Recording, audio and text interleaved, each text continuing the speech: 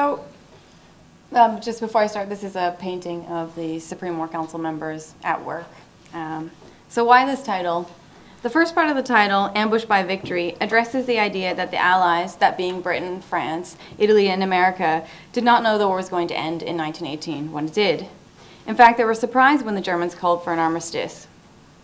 The second part of the title, Allied Strategy on How to Win the First World War, refers to how, within this context of surprise, the Allies spent much of the year coordinating an Allied strategy for 1919, the year they believed the war um, could, excuse me, the year they believed they could end the war. Well, this strategy incorporated all theaters of war, and in the broader context of my work, I look at these other theaters. Today, I'm going to geographically focus on the Franco-Belgian front. I'm going to show you a piece of the Allies' plan for 1919, First, by examining Allied discussions on how much manpower they required for a major offensive in 1919 against their main adversary, the Germans, and second, by looking at Allied discussions over how to supply a large American army in Europe.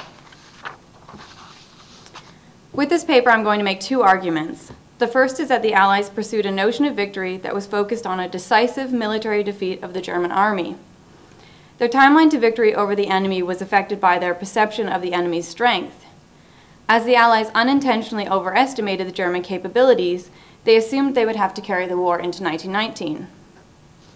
The second argument is that through the mechanism of the Supreme War Council, the Allies were able to successfully coordinate strategy and resources. The abrupt ending of the war obscure, has obscured historians' understanding of coalition warfare in the First World War, as they have not sufficiently considered the serious planning that took place for 1919. Um, what few historians have examined the Supreme War Council have largely focused on the Executive War Board and Foch's evolution to becoming um, Allied Commander-in-Chief on the Western Front. And while some historians have considered the Supreme War Council as a forum for the exchange of ideas, many have done so dismissively. So just a brief overview of what it was and why it was created. It was established in November 1917 in the wake of the Italian setback at Caporetto, and it was a joint effort between the British, French, Americans, and Italians. And as an aside, um, while recognizing that the um, Americans were technically an associate power, when the Supreme War Council wrote in their documents, they said allies, and that included the Americans, so I'm just going to use the generic term allies. So the Supreme War Council was created for the better coordination of military action on the Western Front. However, it did so by looking at the general conduct of, over the entire um, war, that being all theaters. The main body of the Supreme War Council was the political side, which you can see here at the top. It met monthly at Versailles and consisted of two representatives from each of the nations. The head of the government was a permanent member, and while the second representative varied depending on the topic of discussion, they tended to be the foreign minister or secretary of state for war. However, fearful of losing diplomatic independence, President Wilson refused to sit on this political committee. Um, however, he sent Arthur Frazier, the American ambassador to Paris, to act as, quote, an ear but not a mouth. While the Supreme War Council had no executive power, these men could use their positions within their government to advocate the implementation of the agreements made by the Supreme War Council, which they did. The political body was advised in military matters by the permanent military representatives, which here. They were instructed to analyze the military situation from the broad view of the Allies and not just of their own country.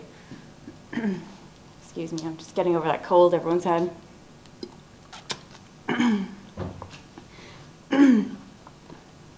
So they functioned at the level comparable to that of the general staffs and created a strategy that considered all of the theaters of war in relation to one another. They recommended general policies in those theaters and rarely considered specific operational details and never considered tactics. What they created was a guideline, not a detailed plan, of what should happen in the autumn of 1918 and the year 1919 in the context of the entire war. The military representatives offered an alternative opinion to the national ones put forward by the general staffs in each country. Like the general staffs, they considered the global perspective of the war. But unlike them, they examined the capabilities of the coalition as opposed to merely national ones. The result was that um, they were able to make rec recommendations on how best to coordinate the coalition effort, which included um, identifying existing areas of poor coordination and advising on the creation of a number of subcommittees. From the onset, the Supreme War Council was given greater authority by the Americans' willingness to use it as a main conduit of communication with their European allies. So now to examining a bit of the strategy. As part of the wider strategy for winning the war, the thinking and planning done by the Allied political and military leadership illustrates the predominance of the Franco-Belgian front as the main theater of war and the German as the main enemy of the coalition. The final decisive campaign would be fought in 1919 because the Allied political and military leadership that, as well as being the earliest time the American, that American manpower would give the Allies sufficient numerical superiority, um, it, would, it was also the extent of time Allied morale could be maintained. In this way, the Allies could overwhelm the German army in France and dictate the peace terms. After the Allies' shock at the Battle of Caporetto and the subsequent German spring offensives, the Allies were determined never to underestimate the enemy again. They feared that the Germans were holding substantial manpower resources in the east, that being the Russian front, while at the same time recruiting forces from the local Russian populations. In an attempt to be prudent, the permanent military representatives consistently overestimated the capabilities of the German war machine. Until the war ended, the Allies were never sure as to where all of the German divisions were, lo were located. They were always concerned that German divisions on the Russian front would be moved to any of the other theaters. Due to the Central Powers' advantage of interior lines of communication, the Allies feared they would not detect troop movements until it was too late.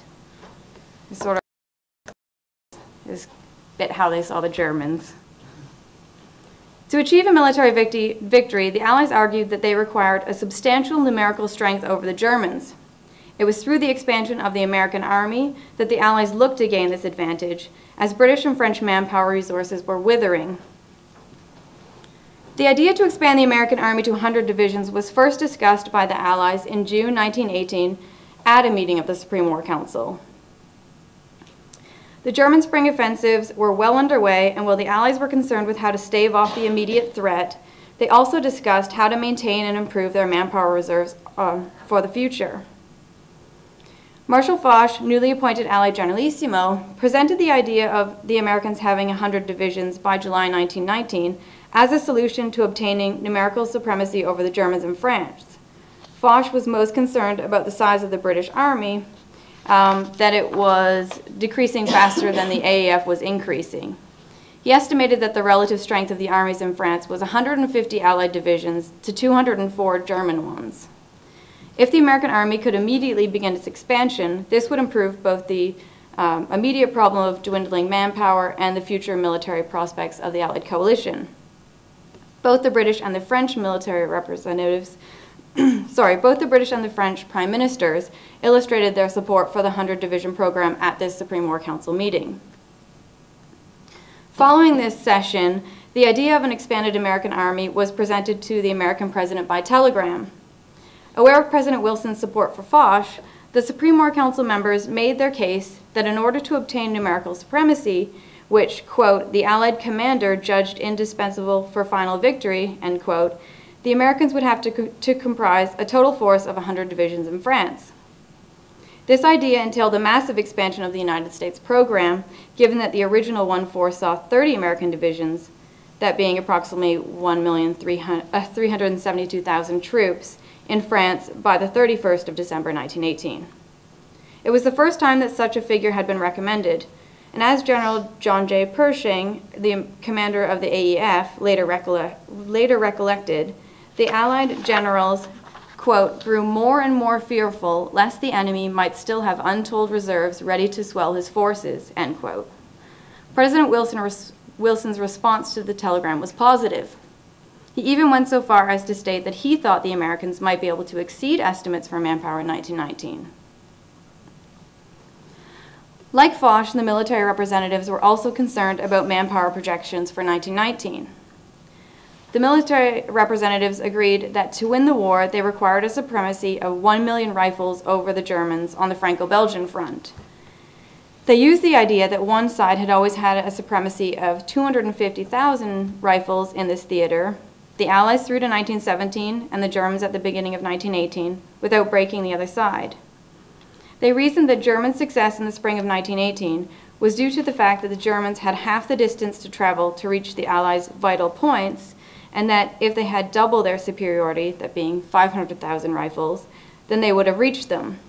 Following this logic, in order to reach the Germans' vital points, which were defined as, quote, points which will cause the whole German line to crumble, end quote, they needed twice what the German figure for success would have been. So that is 1 million uh, superiority in rifle strength, given the extra distance the Allies had to reach these areas. Um, just a comparison. So the, the military representatives then compared Allied and enemy rifle strength for the 1st of July 1919. As you can see, they estimated that the British forces would comprise 400,000 rifles, the French 461, the Belgian 42,000, and the Portuguese 20,000 rifles, which, uh, as an aside, Haig later saw this and wrote that the Portuguese were of no use directly on the document. That was how he felt about them. The current American program would see um, the, Amer yeah, the Americans contribute 465,000 rifles, giving the Allies a total of 1 million, uh, 388,000 rifles. In comparison, they estimated that Germans could draw infantry manpower from a variety of sources, as illustrated in this, in this slide on the left-hand side. There's 165,000 men in depots, 450 from the conscription class of 1920. They were also drawing men from the previous conscription class, and they thought they could get 12 divisions from the Eastern Theater and also a substantial amount from P POs, POWs released from Allied custody, totaling 325,000 from conquered territories and another 675,000 from returned wounded and sick. So they were quite optimistic about what the Germans could field. And although these sources contributed, altogether these sources contributed just over 2 million men including current forces and wastage, which assumed heavy fighting in spring 1919 and thus high losses. The total infantry, strength of the German army on the Franco-Belgian front um, at the end of June 1919 was estimated to be 1,425,000 rifles, or 178 divisions. They predicted that these figures would continue to de decrease until the class of 1921 became available in the autumn of 1919. So these estimates highlighted a German superiority of 37,000 rifles and alarmingly meant that the Germans would maintain their numerical advantage over the Allies into July 1919 unless the Allies changed their approach to manpower. The British military representative expressed deep concern over these figures as he believed the Germans would be able to resume an offensive on the Franco-Belgian front by March 1919 and continue it until the autumn. This action would result in the war continuing into 1920 when one of Britain's partners might withdraw from the conflict due to war weariness. They argued that Germany would be able to increase its strength as it had access to materials in Russia. So the military representative studies reinforced the need for a much larger American army. It was the 100 Division program that could give the Allies this 1 million rifle superiority they believed was necessary to win a decisive victory.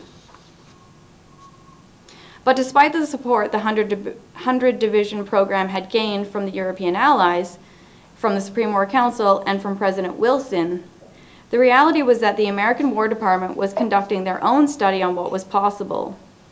And rather than endorsing the 100 Division program, they estimated that the American program could be expanded to 80 divisions by the 30th of June 1919.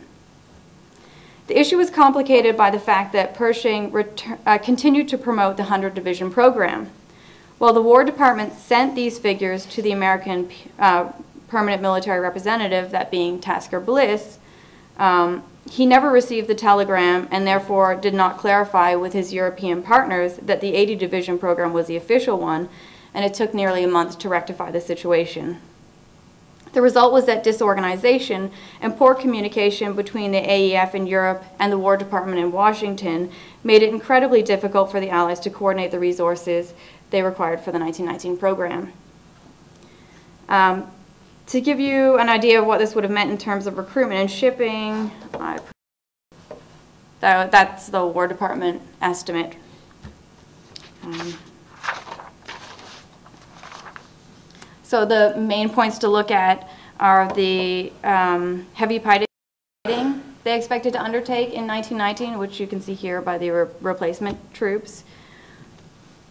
Um, the total size of the AEF in Europe would have been 3,360,000 men in France.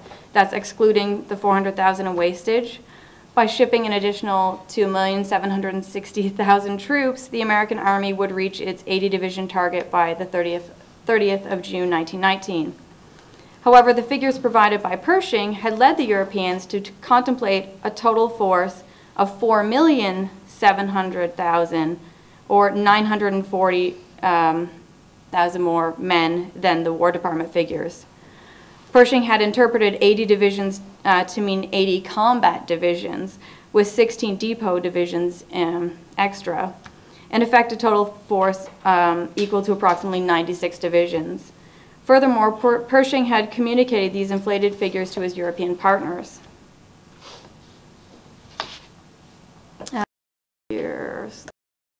Uh, total troops shipped. Um, so the American Secretary of War, Newton D. Baker, was appalled to learn that Pershing conceived of transporting 300,000 troops per month, that, um, which is in comparison to what the War, those estimates that the War Department was making. And then Pershing wanted to increase it to 350,000 per month from January to June 1919. As the above table illustrates, these figures are in gross estimation of the War Department's. The problem that developed was that Pershing's grossly inflated figures had confused the British shipping authorities. Not only were these figures central to the provision of adequate troop transport, but they were also the figures on which cargo tonnage was based. The inefficiency caused by the War Department and Pershing were not, uh, not working on the same program were twofold.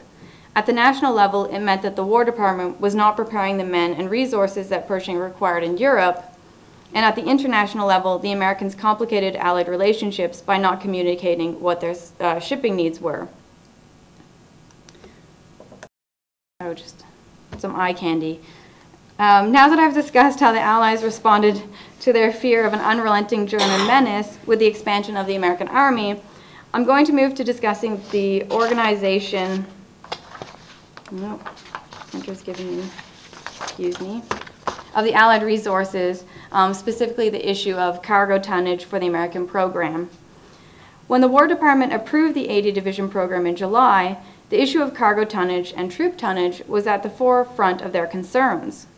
Although by the summer of 1918, the convoy system had neutralized the submarine menace and Allied shipbuilding finally equaled shipping losses, the expanded military program significantly altered the shipping situation for the second half of 1918 and the year 1919. By this time, the European allies had expected that the Americans uh, would be contributing shipping to the overall war effort, Instead, by implementing the 80 Division program, that meant the Americans would require further assistance from their coalition partners and would continue to draw upon already stretched Allied shipping resources. Originally receiving assistance with troop transport from the British, the American government further increased its demands by asking for substantial assistance with cargo tonnage as well. Furthermore, the American demands did not confine themselves to shipping tonnage. The 80 Division program placed stress on already limited munitions resources too, as the Americans pressed both the French and the British for assurance that they could assist with the supply of artillery and shells until their own program came through in 1919. At the heart of these discussions was the Allied Maritime Transport Council. Back to this slide so you can see it here, which is there. It was a subcommittee, obviously, of the Supreme War Council. The Allied Maritime Transport Council was established out of the desire to improve the allocation of tonnage and poor communication networks between the coalition. Although it did not have executive power, the connection of its members to the shipping controllers at home resulted in it being at the center of Allied discussions for shipping. Its objective, objectives were first, quote, to make the most economical use of tonnage under the control of the Allies. Uh, second, to allocate that tonnage as between the different needs of the Allies in such a way as to add most to the general war effort.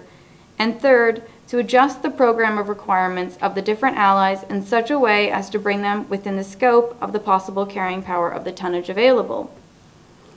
To achieve these results, the Maritime Transport Council encouraged each nation to tabulate its requirements for tonnage needed tonnage available, and tonnage likely to be available in the future.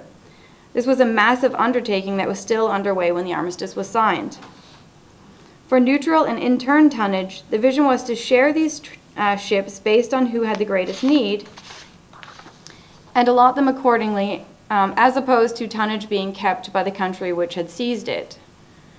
The Maritime Transport Council eventually came to control 500,000 tons of neutral shipping, and while remaining ships stayed under national control, the Allied Maritime Trans Transport Council recommended how this tonnage should be used.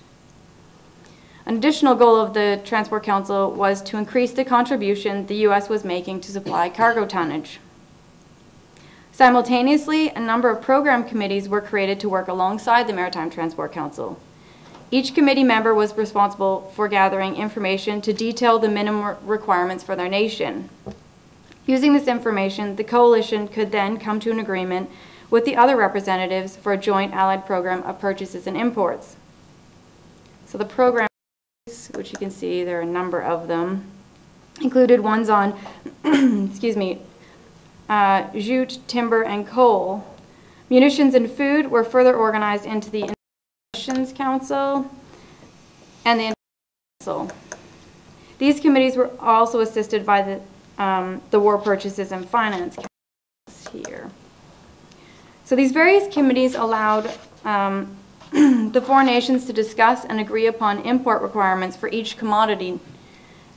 Um, the Maritime Transport Council then considered all of the commodities as part of the wider Allied shipping program.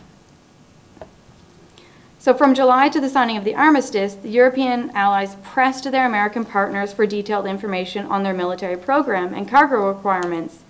But again, disorganization with the American war machine resulted in the Americans providing a series of conflicting programs. For example, I'll just the data. So for example, um, you see the data provided by Tasker Bliss, which he gave to the other military representatives, which were then sent back to their governments, versus what the War Department had also sent to the British Shipping Controller. And they're very inconsistent. what is of particular interest is that after February 1919, the War Department estimated that their shipping program would be able to maintain cargo tonnage for their 80 division program without the assistance of their European allies. Um, that was provided that the submarine threat remained neutralized. In comparison, you can see Bliss's study relied on the Allies into June 1919, well, the War Department foresaw a total deficit of approximately 4,800,000 deadweight tons from August to the end of February. The American section of the Supreme War Council had calculated that for the same period, the shortage would be nearly double this amount. The main discrepancy between these figures was as a result of Bliss's inclusion of transport for animals, which added an average of 550,000 deadweight tons per month to the tonnage deficit Bliss had done so under the advice of Foch and Pershing. And again, we see this um, discrepancy between what's going on in Washington and what's going on in Europe, and then the two programs trying to mesh together.